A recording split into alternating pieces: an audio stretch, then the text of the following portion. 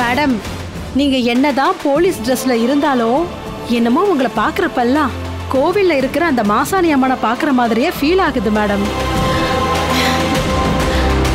உங்க சிரிப்பு கூட தெய்வீகமான சிரிப்பா இருக்கு மேடம்.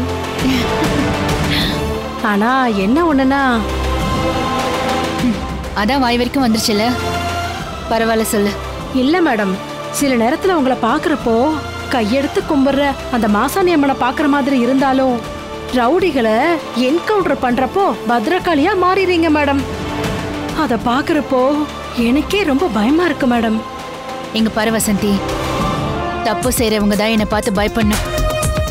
நான் நல்லவங்களெல்லாம் என்கவுண்டர் பண்ணலையே. எத்தனையோ அப்பாவி பொண்ணுங்களோட தாலி அறுத்தவனுங்க போதைப் பொருள் கடத்தினவனுங்க குழந்தைங்களை கடத்தி பெத்தவங்கள கதற விட்டவனுங்க. யாருமே ஆதரவு இல்லாதவங்கள தேடி கண்டுபிடிச்சு அவங்க ஆர்கன்ஸை திருடினவனுங்க.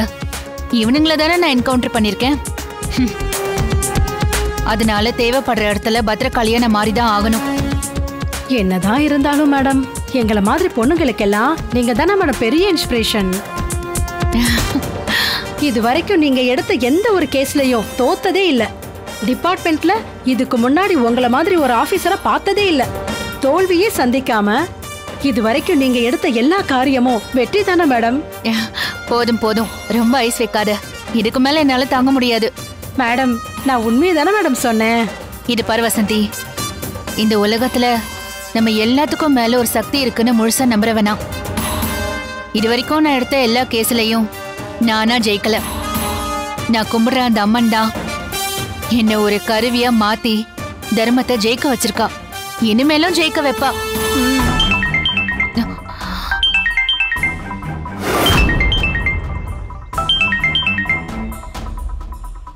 சொல்லுங்க அசோக். எப்படி இருக்கீங்க? ஏதாவது எமர்ஜென்சினா தான் கால் பண்ணுவீங்க. இப்போ என்ன திடீர்னு?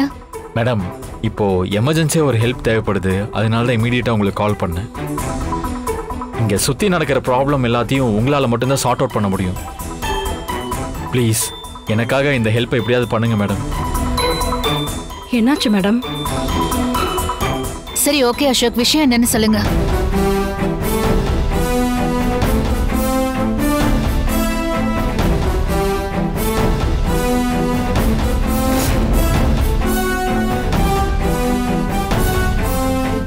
ஓகே அசோக். உங்க சுச்சுவேஷன் எனக்கு புரியுது. நீங்க சொல்றதெல்லாம் வச்சு பாக்குறப்போ என்னால அபிஷியலா யூனிஃபார்ம்ல எல்லாம் அங்க வர முடியாது. சோ அந்த ஊருக்குள்ள நான் என்ட்ரி ஆகிறதுக்கு எனக்கு ஒரு வேலிடான ரீசன் தேவைப்படுது. ஆ, மேடம் என்கிட்ட அதுக்கு ஒரு ஐடியா இருக்கு.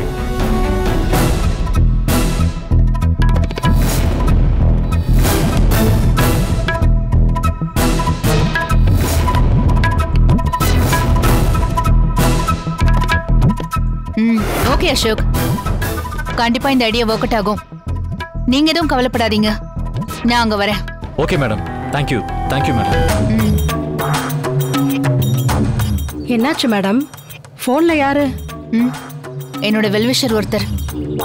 ஒரு பெரிய ப்ராப்ளத்துல இருக்காரு. எல்லா கேஸ்லயும் ஒரு பெரிய சவால் இருக்கும். அதே மாதிரி தான் இந்த கேஸ்லயும் ஒரு பெரிய சவால் காத்துட்டு இருக்கு. அந்த ஊர்ல காப்பு கட்டி இருக்கிறதுனால வெளியூர்காரங்களோ இல்ல போலீஸாலேயோ உள்ள நுழைய முடியாது.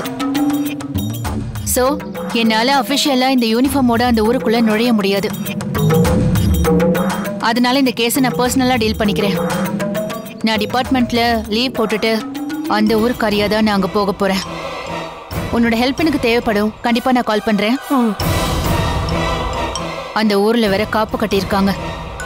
வேப்பில திருவிழா நடக்குமோ நடக்காதோங்கிற பயத்துல வேற எல்லாரும் இருப்பாங்க. அதான் நீங்க போறீங்களே மேடம். அந்த வேப்பில திருவிழாவை நல்லபடியா நடத்தி முடிக்க அந்த அம்மனே உங்களை கூப்பிட்டுருக்கா?